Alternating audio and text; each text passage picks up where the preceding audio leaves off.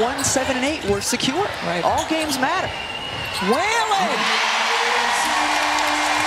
Coaching her in shoot-arounds, paying attention to her. She clearly sees potential in this young lady and wants to make sure she can help with her development. There you go, Lindsay Whalen. She has been out in the concussion protocol. I see her sitting here on the bench, and she's actually got earplugs in her ears tonight, trying to prevent that Lindsay Whalen knows how to rise to the moment. And while this isn't about